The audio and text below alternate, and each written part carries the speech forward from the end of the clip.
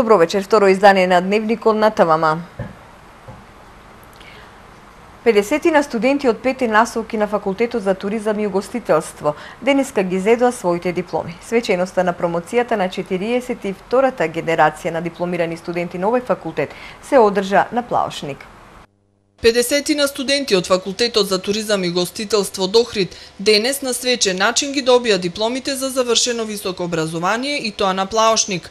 Идните академски граѓани со нескриена возбуда присуствува на овој чин земајки го врака парчето хартија кој треба да им ја гарантира нивната светла професионална иднина.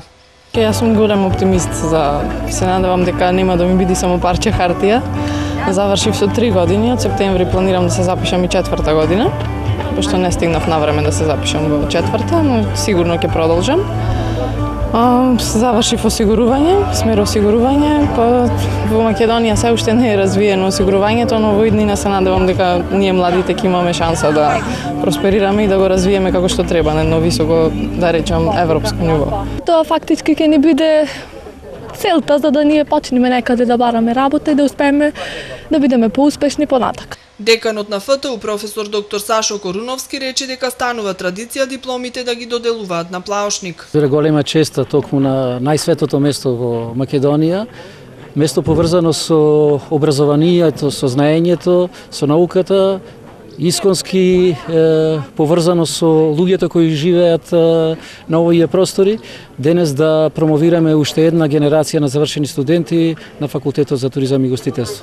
Деканот им посака понатамошни успеси на дипломците и ги покани да се приклучат на вториот и третиот циклус студии кои им ги нуди ФТУ.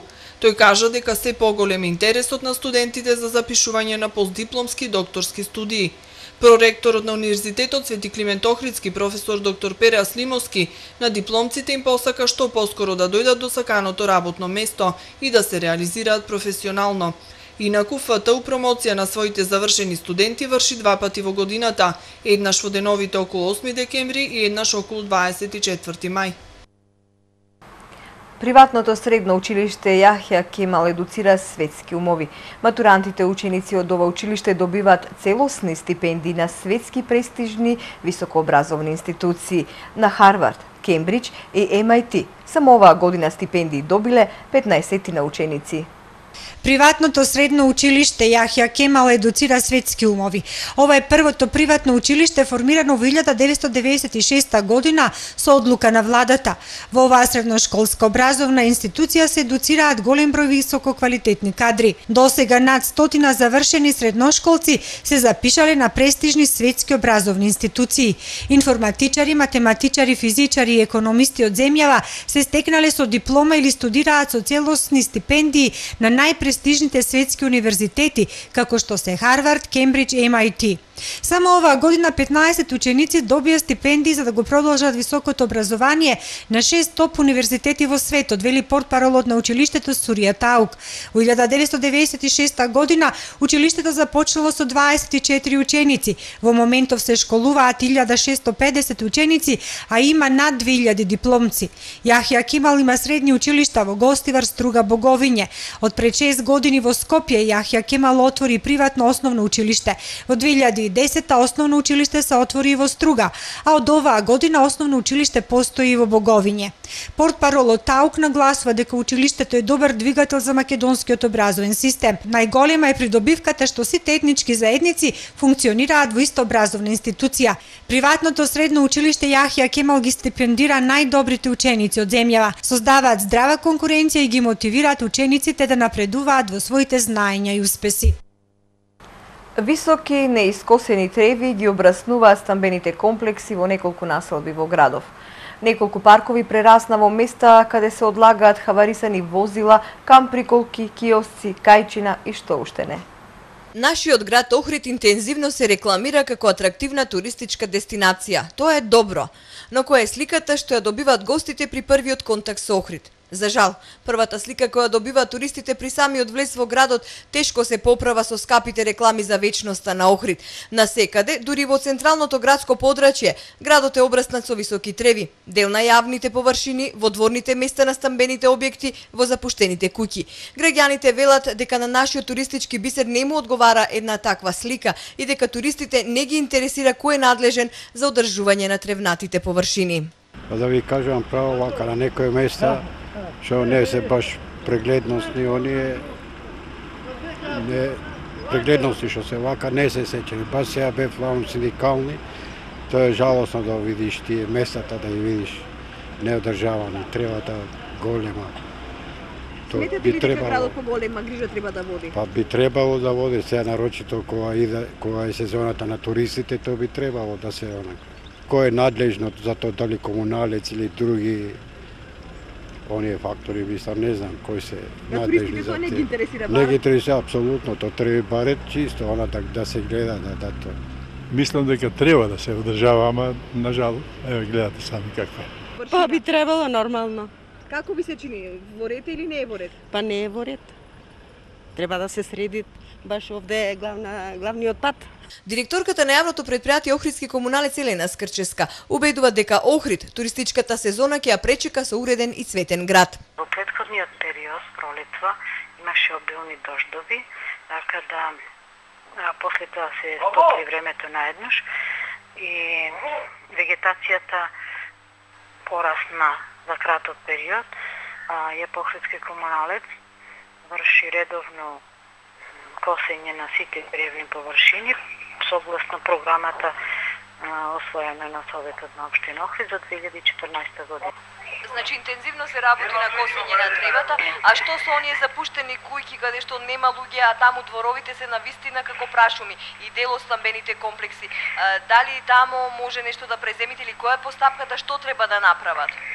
А, таму треба да интервенира а, комуналната инспекција и по нивни налог можеме да исчистиме сите запуштени дворови што се во приватна собственост.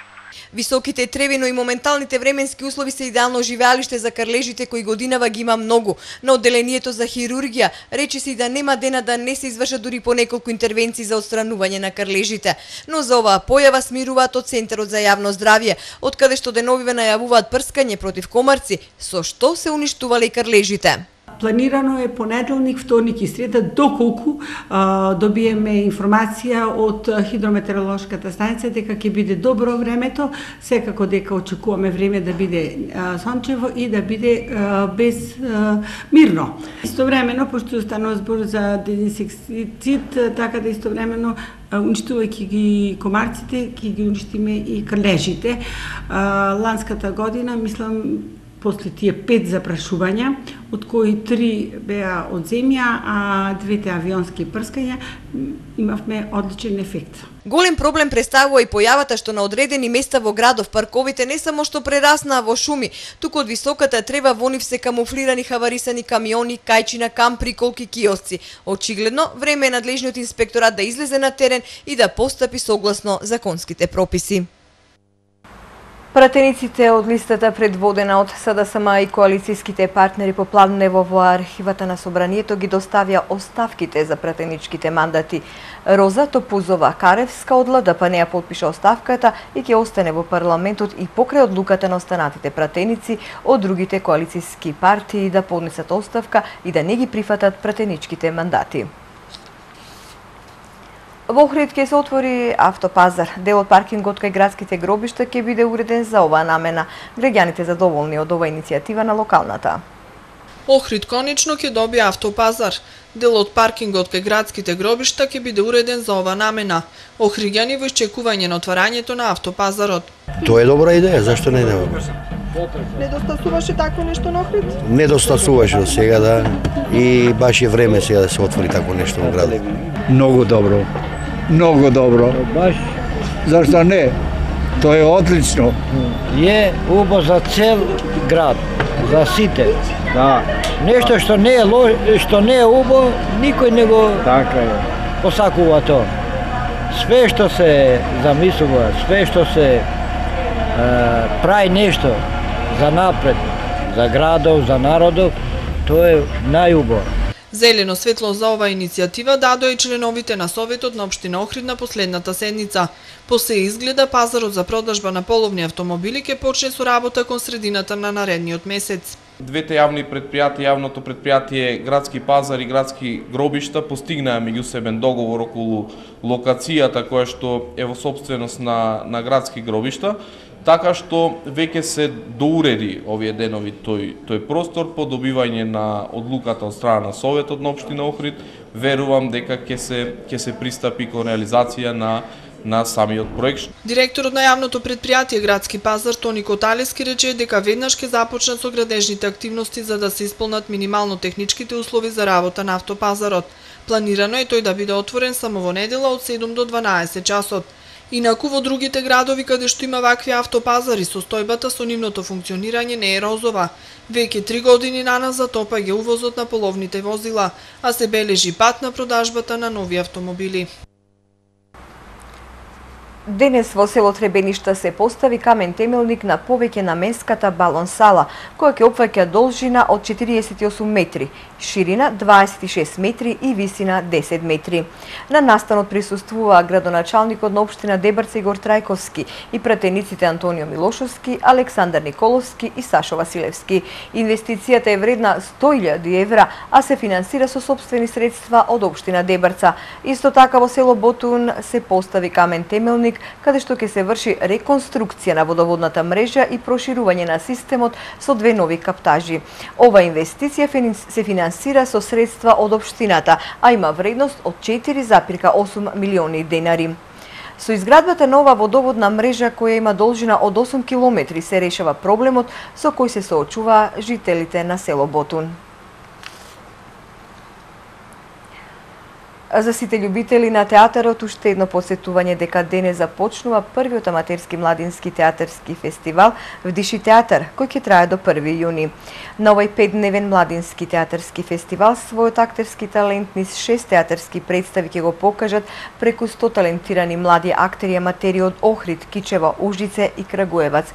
Свеченото отворање на фестивалот е вечерва во предворието на црквата Света Софија со почеток во 20 часот со представата Суд за за морални вредности во изведба на театарската група на Црвен крст Охрид.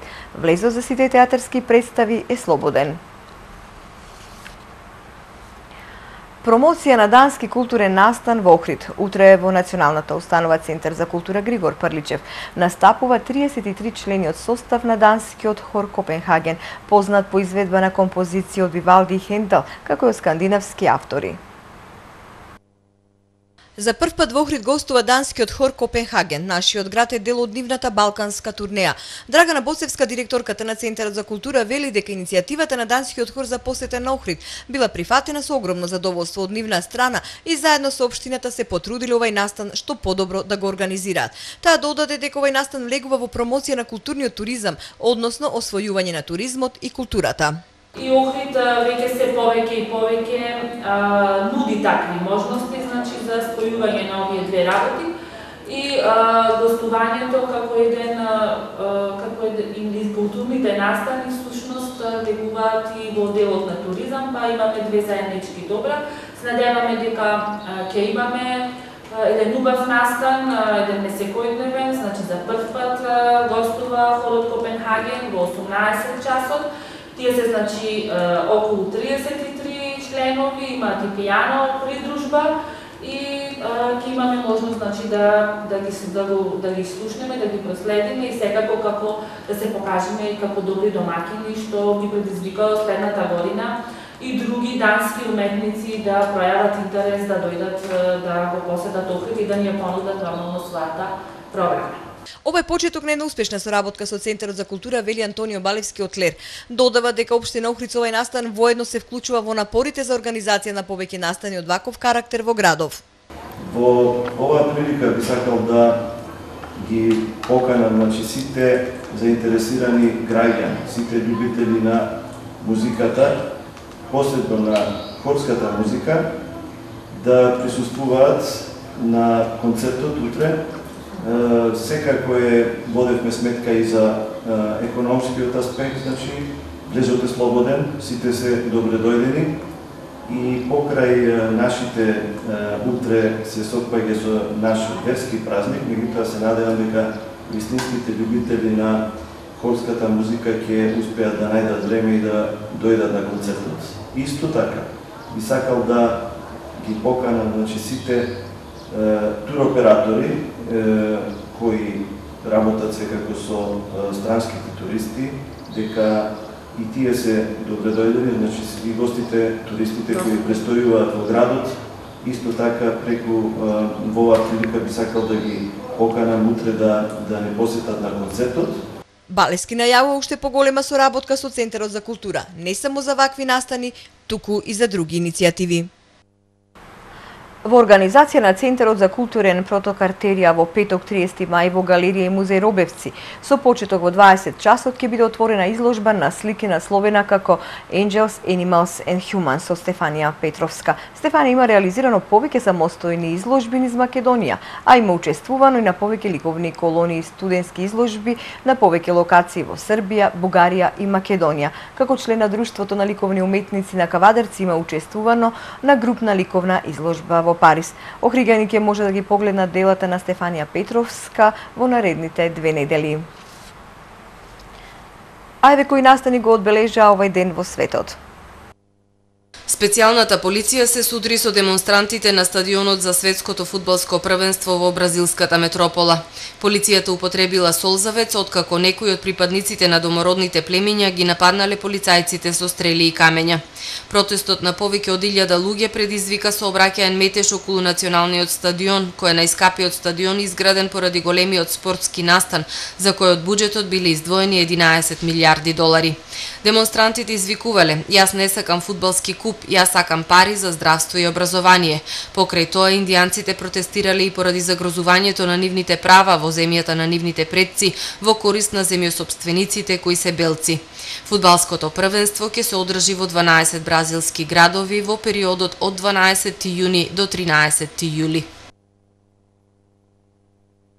Еврокомисијата ја предупредила Бугарија поради намерата да почне со изградба на гасоводот Јужен Тек во соработка со представник на руска компанија која е на листата личности на кои им е забрането да патуваат во Европската Унија. Бугарија со изградба на делот гасоводот Јужен Тек ги крши правилата на Европската Унија и Европската комисија ќе преземе мерки тоа да не го дозволи, соопшти синоќа председателот на Европската комисија Жозе Мануел Баросо, велејќи дека за тоа ги известил и лидерите на земјите на Европската Европската Унија кои заседаваа во Брисел. Баросо рече дека на бугарскиот премиер Орешарски му ставил до знаење дека правилата на внатрешниот пазар во Европската Унија мора да бидат почитувани, затоа што се доведува во опасност енергетската безбедност на Бугарија и на Европската Унија ако не се почитуваат овие прописи. Најмалку 20 пациенти и една медицинска сестра изгореле во пожар во болница во јужнокорејскиот округ Јансеонг. Шест лица се во критична состојба. Поголем дел од жртвите имале помеѓу 70 и 80 години и биле неподвижни и врзани за кревет. Властите објавиле дека поголем број од жртвите се задушиле од чат. Пожарот бил изгаснат во рок од половина час по дојавата. Полицијата објавила дека привела 81 годишен пациент кој страда од деменција, откако камерите го снимиле како влегува во просторијата во која избувнал пожарот. На зградата наводно неодамна били извршени безбедносни проверки, пренесува BBC. 10 милиони граѓани на кинескиот главен град Пекинг секој ден во изминативе 4 дена мораат да водат битка за да бидат понапред во долгите редови за да извадат карта за метро, чии редови во градскиот шпиц достигнува и по неколку стотици метри. Пекинг има 200 станици од подземната железница, а повеќето патници додека чекаат на ред да купат карта, имаат време и да ручаат. Најдраматично е при влез во метрото каде се води права битка. Ваквиот хаос настана откако во саботата кинеските власти воведоа нови безбедносни мерки по терористичкиот напад во Ксинјанг, каде загинаа 31 лице, а полицијата стравува од нови напади. Ова се во вториот дневник останете со ТВМ следува реалното шоу Американски топ модели. Пријатно!